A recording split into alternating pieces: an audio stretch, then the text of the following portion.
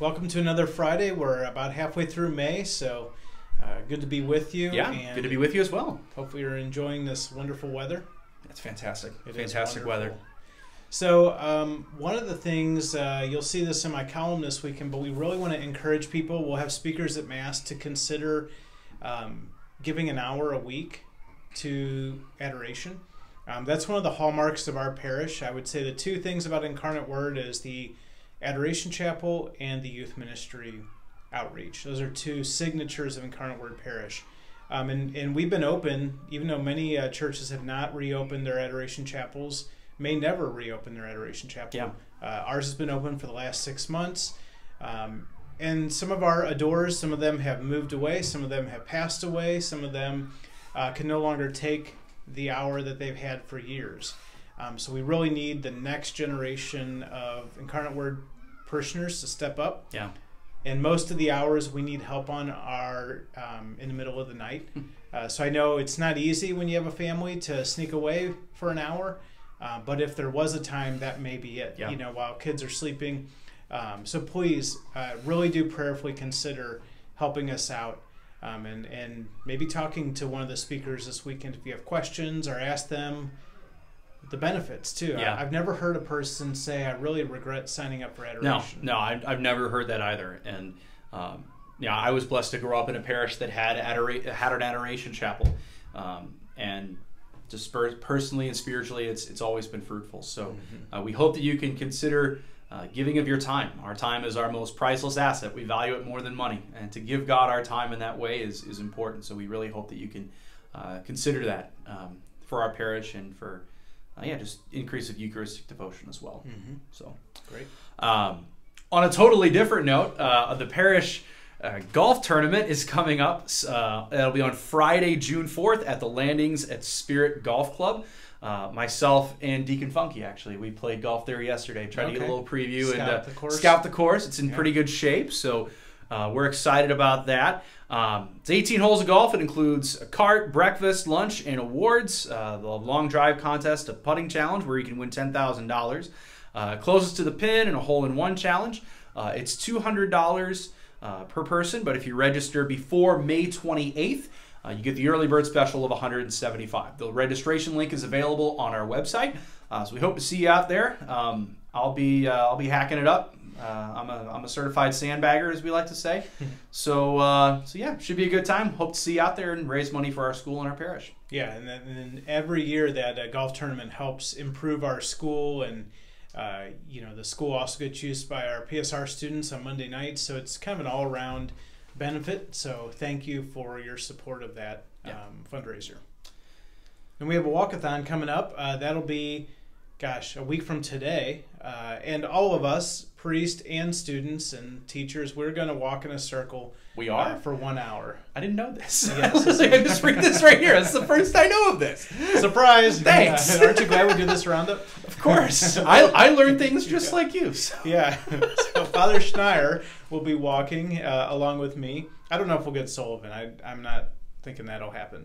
Um, but uh, the reason is uh, this is for tech uh, improvements with the classrooms, especially desks. Um, that's something that is sometimes overlooked, but um, kids sit in them for six hours a day. So we think we can do a little bit better on that.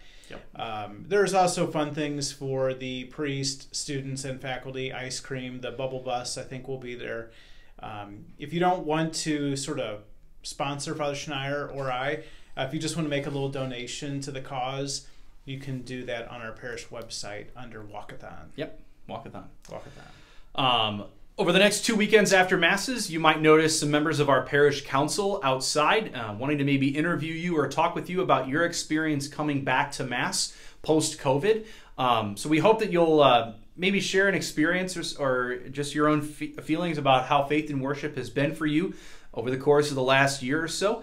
Um, you know, they're not mandatory or anything, but we want to you know reach out to other parishioners who might not have come back yet uh, and encourage them to come back through hearing your stories and your experiences. So uh, if you see anybody from our parish council outside, uh, give them a little wave. Maybe go over there and talk with them for a minute or two about your experience, and uh, yeah, we'd love we'd love to have it. Yeah, and then um, our parish council, they're really pleasant, friendly people. Uh, I enjoy our meetings every month. Uh, they're just fun people to be around.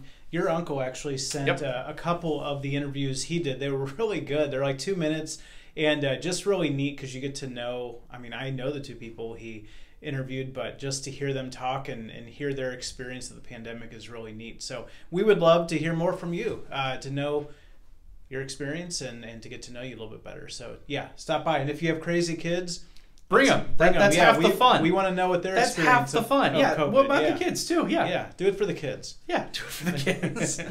um, blood drive tomorrow from 7:30 a.m. to 1 in Bollinger Hall, the Lower Church Hall. Uh, hopefully, you can uh, step up and give some blood. Uh, also comes with a free antibody test as well, so you can see if, if uh, your COVID vaccine's been working or not. Um, and uh, you can schedule an appointment by using the link on the parish website. So, you know, hope to see a lot of you out there tomorrow morning for that. And then we have our uh, monthly Feeding Our Neighbors in Need food drive, sponsored by Vincent de Paul, St. Vincent de Paul. And those food bins, um, if the this happens probably by mid morning on Sunday, the bin in the very front of church, uh, when you first walk in, fills up and then it sort of spills out like a overflowing cornucopia of generosity all over the vestibule. So that we always have another bin over by the side doors Yeah. of church, uh, by where the Knights of Columbus book rack is. Um, if you are able to carry your donation a little bit further, just consider that as a um, Yeah. you know Sort of like using both lines at a buffet. yeah yeah. And some of our people, uh, their I donation use like food analogies for my. almost like weighs more than them, and they're like you know in their 80th or 90th year. So we want them you let Yeah. them use the close bin. And those of you that are strong and young, like Father Schneier, uh, can put them in the far bin. Um, just a consideration. Uh, finally, at least one other announcement. Uh, obviously, the CDC has uh, changed a lot of guidelines within the last couple of days, uh, and we're aware of that. The Archdiocese is aware of that. They're actively um, analyzing those new health orders along with stuff from the city and the county. There's a lot, a lot of parties involved. Um, so Not parties. well, not parties. No, no, Yeah. none of this No is parties. none of this is fun. But Yeah. uh, but we we're aware of that, and the instant that we get anything from the archdiocese, we will communicate it to you. Um, the, again, the archdiocese is actively looking at all of those guidelines, and then will make decisions based off of that. We haven't gotten anything yet, and this is a little bit after noon on Friday. Uh, but if we do get anything, we will communicate it to you and immediately put them into place here at Incarnate. Uh, we we want to get back to normal just as much as anybody. So uh, trust us. The instant that we get anything from the archdiocese, uh, we will gladly uh, put into effect here at Incarnate. Yeah, and I think that's uh, that's my encouragement is um, we are doing the masks because the Archbishop asked us to Right. do it. Doesn't mean that we're pushing something or even No. that it's our personal preference. Uh, but we, uh, you know, we have a boss too. Yep. So we're we took vows to, of obedience. we're trying to be uh, a good good sons of our Archbishop Father. Um, but yes, we hope very soon that we will get permission to ease that and be able to Yeah. to see you. Uh, and see you yawning during our homilies. Yes. Uh, we've kind of missed seeing that. It, it doesn't. We don't always know when we're connecting or not Yeah. because it's disguised. So. it, it is disguised. and Father it- Schneier doesn't know. what I, I don't. I don't know two. like. I don't know what like half of all of your faces. Yeah. So that would be nice to be. Able all to he's see. seen is your beady eyes staring Yeah. at him. That's all I know of you. For a year. All right, well, let's talk about our readings. Yes, it's the Ascension of the Lord, uh, Mhm. big feast day, and um, I'm planning on talking about Jesus' separation from his apostles. You know, he, he left when he could have preached and walked around this earth for much longer. You know, he was only 33 when he when he died, and I think it's there's there's a beauty to our Catholic faith that our faith is not in human beings or personalities, even Jesus' own personality. Uh, our faith is in God, and we aren't. That's why we don't get attached to uh, people. And I think there's a tendency in modern Catholicism, especially with the internet, to latch on to specific personalities, even wonderful people, uh, even wonderful personalities uh, that, that that communicate the faith to us. But we have to remember that our faith is far bigger than that, and Jesus gave us an example of how to do this uh, by leaving us. Um, that our, our faith has to be a little bit stretched beyond merely just being attracted to a person uh, or, or a personality. Uh, our faith is in God. So that's kind of where I'm leaning at. I've got a little bit more of my homily to write. Mhm. Today Same tomorrow. here. Same here. Um, I'm going to maybe dwell on the at the end of the gospel where he talks about you know if you preach in my name you're going to be able to pick up serpents, drink poisons, um, drive out demons. Maybe kind of to sometimes we don't always almost think of it as like well Jesus said this but what does it mean? So just looking at that and saying why did Jesus say that? And does it literally mean that we should go and put our hand in a snake box or drink things that we shouldn't drink? Uh, why did he tell us that? Um, so I'd like to spend a little bit of time reflecting on that and, and get to the source of what he actually says um, is preach in my name, let me do the big miracles, um, which is maybe sometimes we try to do the miracles ourselves and forget to preach uh, his name and his resurrection. So I'm going to kind of play around with that. Um, should be fun. Uh, Yeah, that sounds good. It's a good idea.